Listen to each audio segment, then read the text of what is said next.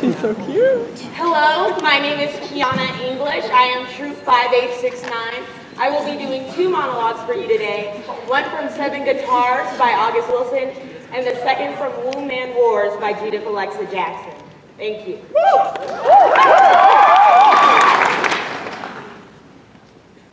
Floyd, I wanted to be a woman for you.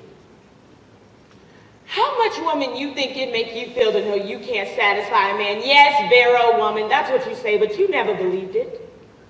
You never showed me the parts where you were a man. You went off to Pearl Brown and showed her, and I don't know what she did or didn't do, but I look up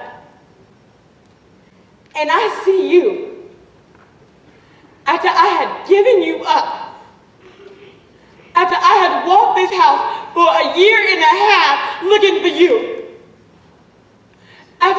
Searched my body for your fingerprints, he touched me here, and he touched me here, and he kissed me here, but he gave me here, and he took me here, and he ain't here.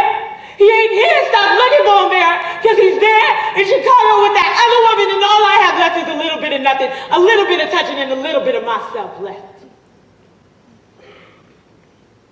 It ain't here anymore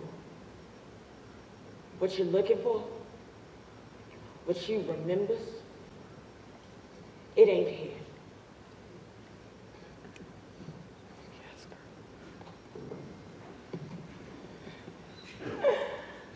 Dean's List at Yale, taught three years of law at Harvard. My clothes are all designer. My hair is from Macy's. Never associate with liberals and only speak black English if necessary.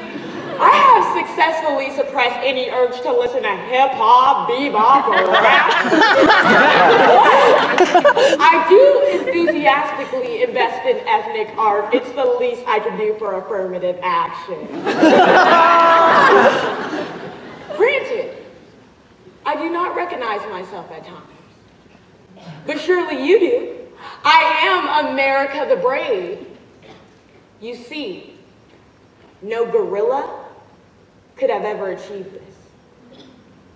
Thank you.